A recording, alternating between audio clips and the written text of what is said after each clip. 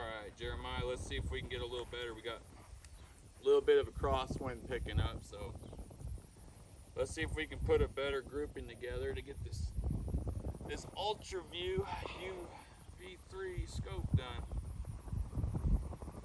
Alright, we're gonna come back, hold. Little low, I think, I think, um, it didn't feel as much as I punched it, Jeremiah, but it's still a little low and I know we're gonna have to adjust this. So let me see, just cheating on my actual sight tape. We'll go, maybe we'll see what 22 does.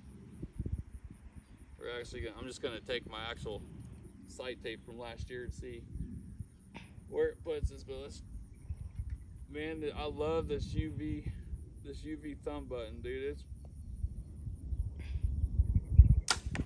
oh, we are hitting dead center on that. that felt a lot better though, Jeremiah. Yeah. I don't think I punched it.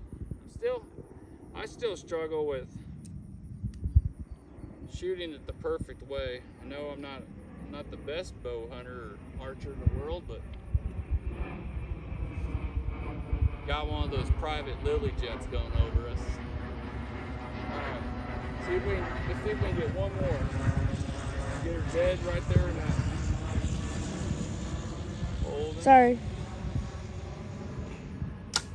Oh, Dad punched that one. All right, well, had one really good one. It's still height-wise is good, but I think Dad's just the one that messed up. So let's go take a look, see what we got. What type of jet was it? Uh, it's like a just a private, like they call them like those Lear jets, like one of the private ones, probably flying out for lilies or a transplant. There we go, second shot. Dang, that was a real animal. Got one low, which I know my sight tape's gonna, I just, I know we're gonna be low, but I think this is actually where my 20 is gonna be on my new sight tape.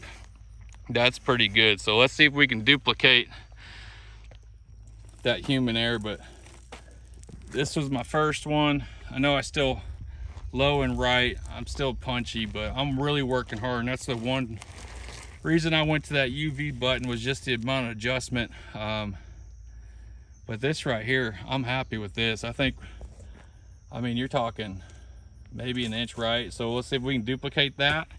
And uh, maybe that, like I said, we can get our sight tape going. I'll lock that down as my 20 and then see where I end up, uh, see how we do. But uh, like I said, I'm just shooting for perfection and the best I can. I want to be the most lethal bow hunter I can be and be as fair and uh, give uh, give the white-tailed deer I chase just a, a quick, merciless, ethical death. And uh, I think we're gonna get there. I'm liking these orange.